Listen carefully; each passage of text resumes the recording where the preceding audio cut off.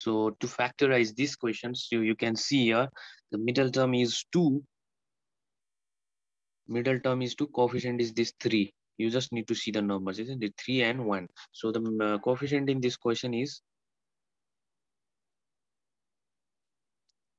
negative 3, minus 3. So first let me write the coefficient in this way, negative 3. And middle term is looking little different. So what can we do is, we can make it look little complete one. So just write two because alphabet is missing. Normally middle term has some alphabet in every question, but here that alphabet is missing. That's why suddenly when people see that this question might be the mistake one, but it's not actually. So what can we do is from this uh, first part, you can bring x by y, import x by y. And from this part, from right hand, from left hand part, import x by y. And from right hand part, import y by x. So that's why it's look complete. So now, what is the reason of me doing this? You will know later on. So I'm making, actually, it's not the solution. I'm making the quotient complete first and then only solution will be start, okay? So this is 2xy uh, divided by uh, y by x, okay? Any, uh, anyway, this is the same thing. And 3y square by x square. Now, so now middle coefficient is 3, middle term is 2. 2.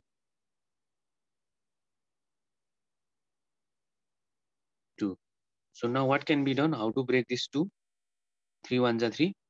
3 minus 1 is 2 also. So I think 3 minus 1 makes 2. That's why I'm taking this 3 and 1 as a breakers. Okay. So breakers means middle term breaking.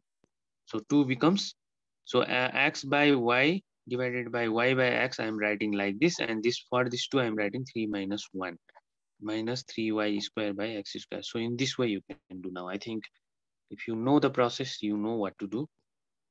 x square by y square now minus 3xy by xy. Okay, I'm writing xy only. Okay, yx means same thing. And again, minus minus plus xy by xy.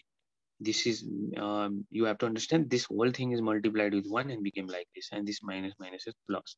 And here minus 3y square by x square. Now rest of the thing is all about taking the common numerator numerator common denominator denominator common. Okay follow that rule. You will understand it more easily. So out of x square and minus 3xy what is common? X is common. Right? And similarly in denominator also we have to take the y square and xy what is the lowest part lowest thing? Y is the lowest so i'm taking y common. Now i'm starting the bracket. So this time i'll use this big bracket because they are in the fractional terms so in this part, x and y has already gone out. So x by y is left, minus is there. So out of 3xy and by xy, x has gone out. That's why 3 is left and y is left, numerator part. Denominator part, x, y is out, x is left. All right, this is the way. And your plus and minus, so I'm taking plus only the common.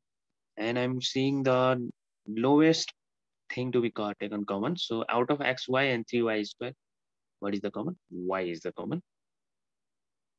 And similarly, denominator also I'm taking the common. You can see here is x square is x. So x is only the common.